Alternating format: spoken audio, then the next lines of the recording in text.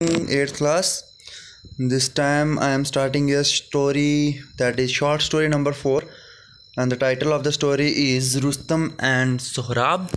And it is a very very interesting story. And i hope you all will enjoy reading it with me. So let's so let's move on uh, towards the reading. And uh, it is a story based on rustam who was a mighty soldier of persia and Sohrab was his son. And uh, this story was a tragedy that has the very very sad ending at the end.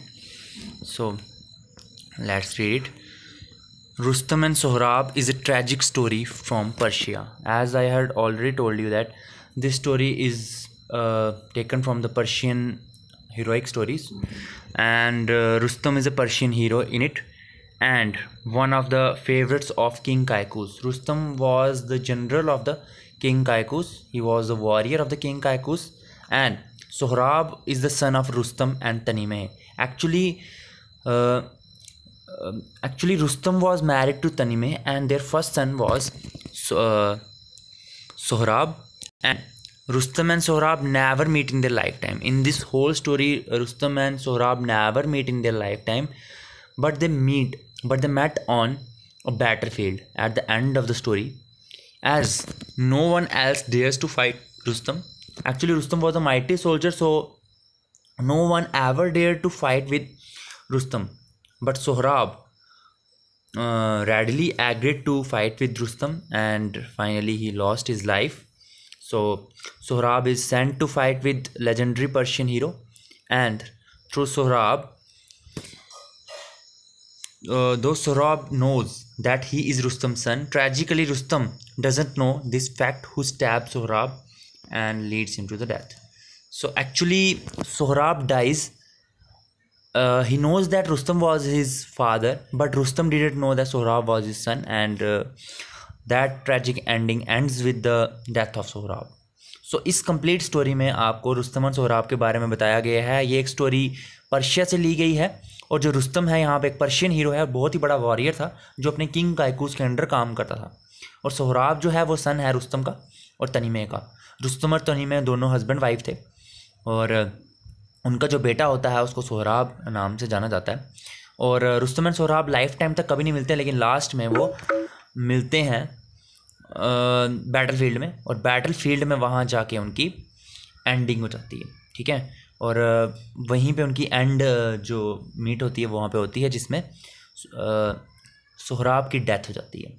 और सोहराब की death कैसे होती है वो सब हम इस story में पढ़ेंगे अब। सो रीड करना स्टार्ट करते हैं।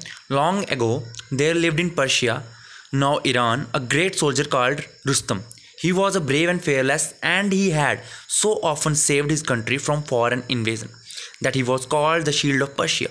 The enemies who tried to invade the country fled in the fear when they heard his war cry, Rustam. Persia is safe as long as Rustam leads our soldiers, said Kaikous, king of Persia. No enemy dare threaten us. If any, he shall suffer a crushing defeat. Unless Rustam is killed, our armies can never hope to see victory. The enemies of Persia used to say, once in the course of his travels, Rustam met a Tartar princess called Tahmina they fell in love with each other and married so ये कहानी बहुत पुरानी है, Persia, जिसको हम आज Iran के नाम से जानते हैं, वहाँ का एक बहुत ही बड़ा सोल्जर था, जिसका नाम था रुस्तम, और वो एक ब्रेव था, बहादुर था और फेयरलेस सोल्जर था, और उसने अपनी कंट्री को बहुत ही बार फॉरेन इन्वेजन से क्या किया था, बचाया था। और इस बार बचाने की वजह से उसको शील्ड ऑफ़ पर्शिया के नाम से जाना जाता था।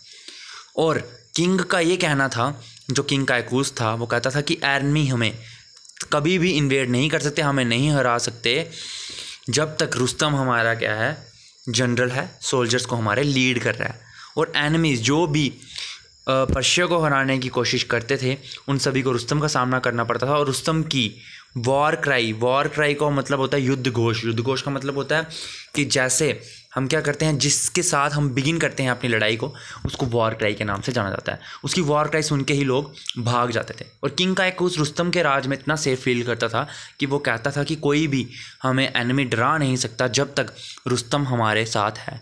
और जो अगर कोई करने की हिमाकत करता है, कोशिश करता है तो उसको एक बहुत बड़ी डिफीट मिलेगी। ठीक है? और अनड्रेस रुस्तम इज़ किल्ड और armies can never never hope to see victory the enemies of Persia used to say जो भी पर्शिया के एनिमीज थे वो कहते थे जब तक रुस्तम की डेथ नहीं होती है रुस्तम नहीं मरता तब तक हम पर्शिया को हराने के बारे में नहीं सोच सकते हैं। सो so, एक बार के ट्रैवल में इन्होंने बताया हुआ कि रुस्तम को एक प्रिंसेस राजकुमारी पसंद आती है इसका नाम तनीमे होता है वो तत्तर की प्रिंसेस होती है और दोनों के बीच में प्यार हो जाता है और उनकी शादी हो जाती है। लेकिन ज़्यादा देर तक रुस्तम उसके साथ नहीं रह पाता है क्योंकि जो प्रिंस जो पर्शिया का वो किंग होता है, वो रुस्तम को बुला देता है, क्योंकि उसको रुस्तम की एब्सेंस में सेफ़ फील नहीं होता है, और उसको लगता है जब तक रुस्तम वहाँ पे है तो वो कंट्री को डिफेंड कर पाएगा, उसको बचा पाएगा। सो रुस्तम को अपनी वाइफ को छोड़ के जाना पड़ता है। उस टाइम पे जब वो फैमिली वे में होती है दैट मीन्स फैमिली वे का मतलब यहाँ पे ये है कि वो उस टाइम पे प्रेग्नेंट होती है। सो इट वॉज़ विथ आरो और वो एक बहुत ही बड़ा दुख होता है उनके लिए जब उनको अलग होना पड़ता है। क्योंकि इसके बाद शायद ऐसा हो जाए कि वो दोनों एक दूसरे से ना मिल पाएँ, ऐसा होता है। और जब वो अलग हो रहे होते हैं, उस टाइम पर रुस्तम क्या करता है, अपनी वाइफ को एक बहुत ही महँगा स्टोन देता है। और वो महँगा एक, आप कह सकते हो जवाहरात होता है। सो वो एक वहाँ पे एक बहुत ही महँगा उसको स्टोन देता है और वो पत्थर वो कहता है कि तुम जब भी कोई बच्चा होगा हमारा तो तुम उसकी बाजू में बाँध लेना मैं पहचान लूँगा वो कौन है। ठीक है? और और उसने ये भी बोला कि हमारी जो मैरिज है उसको सीक्रेट रखना। सो so, इसकी रीड कर देते हैं हम। However Rustam was not able to live his wife for a long time जैसे मैं आपको बता चुका हूँ कि रुस्तम अपनी वाइफ के साथ ज़्यादा तक नहीं रह पाता है। तो क्योंकि the king of Persia soon send for him उसको बुलावा आ जाता है, क्योंकि because he did not feel safe unless Rustam want in his kingdom to pretend to protect and defend it क्योंकि रुस्तम उस टाइम पे किंगडम में नहीं होता है अपने किंगडम को बचाने के लिए so Rustam had to go away from his wife तो इसीलिए रुस्तम को अपनी वाइफ से अलग होना पड़ता है who was then in a family way जो उस टाइम पे फैमिली वे में थी दैट मीन्स वो प्रेगनेंट थी. It was with great sorrow that he parted from her ये बहुत ही दुख की बात होती है कि उनको अलग होना पड़ता है because it might be many years before he saw her again क्योंकि बहुत ही साल लग जाते हैं उसको देखने के लिए उसको। So at the parting he gave her a precious stone जब वो अलग हो रहे होते हैं तो उसको प्रीशियस स्टोन देता है और कहता है when you become a mother tie the stone on the child arm and keep over marriage a secret वो कहता है कि जब तुम बच्चे को बर्थ दे दोगी तो उस टाइम पर उस बच्चे की बाजू में ये बाँध लेना और हमारी जो शादी है, इसको तुम एक सीक्रेट रखना। नेक्स्ट है in due course, in this co- in due course, a son was born in Tanime. Tanime knew that when the boy grew uh, up, Rustam would be eager to have him follow in his footsteps, unless she hid from the uh, Rustam the fact that their child was a boy. He would certainly take away the child. She would then lose her child, as she had lost her husband. So Tanime sent word to Rustam that their child was a daughter. Tanimehe named her son Sohrab, which means child of many smiles. Sohrab grew up into a brave and handsome boy. He learned to use a sword and shield. अब यहाँ पर क्या है कि जो थोड़े ही समय के बाद जो तनीमे होती है, बर्थ देती है एक लड़के को, जिस लड़के का नाम वो, क्या रखते हैं, सोहराब रखते हैं और तनीमे न्यू दैट तनीमे ये जानती है कि जब बच्चा बड़ा होगा, सो सोहराब शायद ये चाहेगा कि वो उसके फुट स्टेप्स को फॉलो करे मतलब वो भी अपने पापा की तरह एक बहुत बड़ा वॉरियर बने। So she hid from the fact वो रुस्तम से एक बात छुपाती है कि उनका जो बच्चा है, वो एक लड़का है। क्योंकि उसको ऐसा लगता है he would suddenly take away the child क्योंकि उसको ऐसा लगता है कि शायद रुस्तम को पता चलेगा ये लड़का हुआ है तो वो उससे लड़के को ले जाएगी। She would then lose her son और इस तरह से वो अपने बेटे को खो देगी, जैसे उसने अपने हस्बैंड को खोया था। सो तनी में सेंट वर्ड तनी में बुला मतलब वहाँ पे मैसेज भेजती है रुस्तम के पास कि उनका जो एक लड़का हुआ है, जो बच्चा हुआ है, वो एक लड़की है। सो तनी में अपने बेटे का नाम सोहराब रखती है, जिसका मतलब होता है चाइल्ड ऑफ़ मैनी स्माइल्स जो बहुत ही लोगों को, बहुत लोगों की मुस्कुराहट का कारण बनेगा। उस बच्चे का नाम वो वो रखती है। सोहराब ग्रू अप सोहराब क्या हो जाता है? बड़ा होता है और बड़े होने के बाद एक ब्रेव और हैंडसम बॉय बनता है और उसको ही use to he learn to use a sword और वो स्वाड को यूज़ करना सीखता है, तलवार को यूज़ करना सीखता है, और शील्ड को यूज़ करना सीखता है। शील्ड आप जानते होंगे कॉच होता है। ठीक है? So next and become skilled in the arts of war और इस तरह से वो प्रॉपर स्किल्ड हो जाता है कि उसको लड़ाई के हर गुर सीख लेता है वो। For many miles there was no one who could compete with him in feats of swordsmanship तो मतलब मीलों तक उसके साथ कोई भी उसके कंपटीशन में नहीं होता, जो उसके साथ तलवारबाजी के साथ उससे जीत सके। So one day there come to that country a young warrior who had fought in distant lands तो एक दिन में क्या होता है वहाँ पर? एक बहुत ही जवान, एक वॉरियर लड़ाका आता है, जो बहुत ही ज़्यादा कंट्रीज़ में जीत के आया होता है। He challenge Sohrab to single combat वो वहाँ पे सोहराब को सिंगल कॉम्बैट के लिए बुलाता है। सिंगल कॉम्बैट का मतलब एक युद्ध के लिए बुलाता है। Sohrab readily agree to fight with him Sohrab क्या करता है? झट से लड़ाई के लिए मान जाता है। As they were getting ready for the combat जब वो रेडी हो रहे होते हैं उस युद्ध के लिए the young soldier said to Sohrab, उस टाइम पे वो यंग सोल्जर सोहराब को कहता है before we fight tell me your parentage I do not fight in single combat with anyone who is of low birth वो उसको बोलता है कि, तुम अपने माता पिता का नाम मुझे बताओ। पेरेंटेज के बारे में बताओ, क्योंकि मैं सिंगल लड़ाई में किसी के साथ ऐसे नहीं लड़ता हूँ, ठीक है? जो एक लो बर्थ का हो मतलब जिसका जो बर्थ हो, वो एक छोटे परिवार में हुआ हो, मैं उस इंसान से नहीं लड़ता हूँ। The man who gathered round look at Sohrab none knew exactly who Sohrab's father was और सब के सब सोहराब को उस वक्त देखना स्टार्ट हो जाते हैं क्योंकि किसी को भी नहीं पता होता है कि सोहराब के फादर का नाम क्या होता है।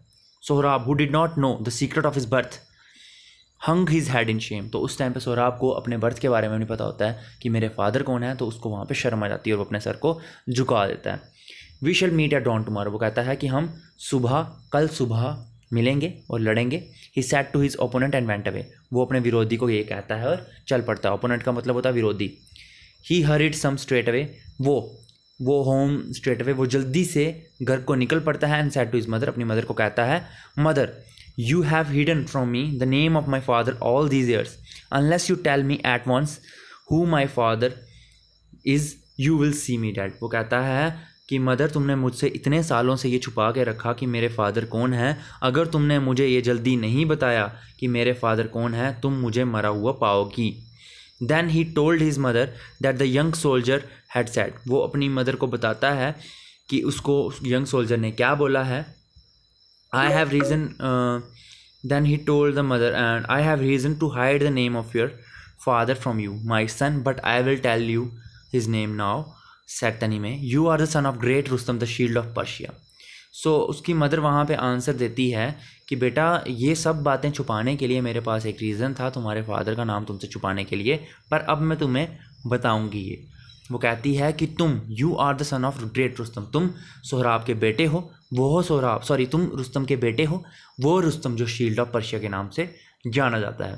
Then Sohrab heard these words his heart filled with pride Rustum oh I am the I am the son of Rustum oh why did you hide from me this from me all these years let me now go and announce my father's name and fight my challenger वो कहता है, इतना खुश हो जाता है वो ये नाम सुन के, उसका जो दिल होता है, वो प्राउड से, गर्व से भर जाता है। वो कहता है, मैं रुस्तम का बेटा हूँ, मैं रुस्तम का बेटा हूँ, मदर तुमने मुझसे इतने सालों तक ये बात क्यों छुपाई? चलो, अब मैं कल अपने जो मेरा जो अपोनेंट है, प्रतिद्वंदी है, मैं उसको इसके बारे में बताऊँगा कि मेरे फादर का नाम रुस्तम है और इस तरह से मैं उसके साथ लड़ूँगा।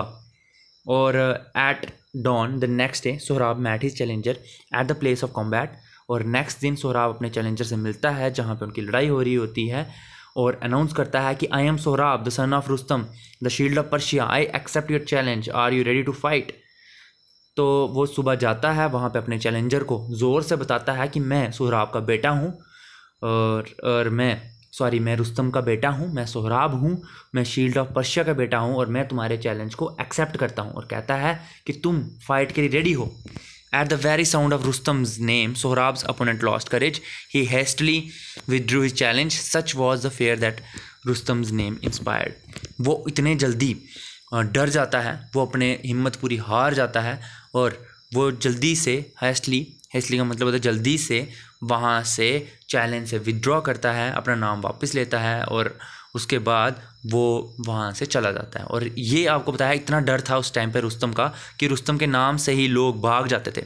सो अबरा return home and said to his mother I must go in search of my father and find him I shall set out at once his mother begged him not to go away leaving her alone, but finding him determined to go, she said, How will you and Rustam know each other? Your father left me before you were born. So Sohrab, but Sohrab was bent on going. I will not return, he said, unless I find my father उसके बाद सोहराब घर पे वापस आता है mother को बोलता है कि मुझे अपने फादर को ढूँढने जाना है तो मैं अब बस निकलने वाला हूँ उसकी मदर बड़ी कोशिश करती है कि वो घर से नहीं जाए और पर जब वो देखती है फाइंडिंग हिम डिटरमाइन डिटरमाइन का मतलब क्या होता है यहाँ पे दृढ़ उसका जो मतलब उसने पहले का डिटर्मिंड हो चुका होता है कि मैंने ये चीज़ करनी करनी है वो कहती है कि तुम सोहराब को तुम सोहराब तुम रुस्तम को कैसे पहचानोगे? क्योंकि जब तुम्हारा बर्थ हुआ वो उससे पहले ही हमें छोड़ के चले गए थे। सो so, तुम उनको कैसे पहचानोगे? तो बट सोहराब वहाँ पे ज़िद में अड़ा होता है। He was bent on going I will not return वो कहता है मैं तब तक रिटर्न नहीं करूँगा। घर में वापस नहीं आऊँगा जब तक मैं अपने फादर को फाइंड नहीं कर देता। सो आई होप आपको बहुत ही ज़्यादा इंटरेस्टिंग लगी होगी स्टोरी ये। So we will continue this story at our next lecture so till then I just want you all to uh, do reading as much as you can to find each and every word for your better vocabulary. So, thank you for listening to me and have a nice day ahead.